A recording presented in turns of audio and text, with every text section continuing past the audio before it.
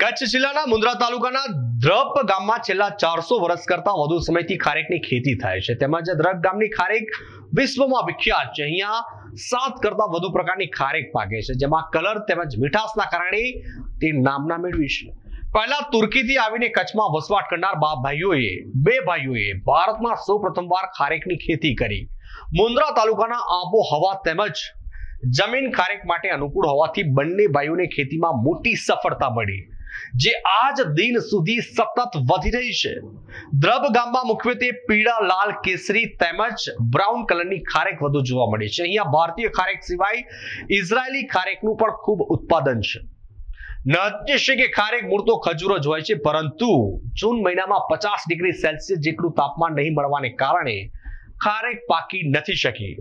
ખજૂરમાં પરિવર્તિત થઈ જતા તેને અહીં ખારેક તરીકે ઓળખવામાં આવે છે અને ભારતે મોટા ભાગે ખજૂરનું આયાત અરબી દેશોમાં કરે છે. ત્યારે જો અહીંયા જે ખારેકનું પૂરતું તાપમાન મળે તો ભારતીય ખારેકને બહાર ઇમ્પોર્ટ કરવાની જરૂર ન પડે. એના માટે સરકાર દ્વારા ખારેક સંશોધન કેન્દ્ર પણ શરૂ કરવામાં આવ્યું છે.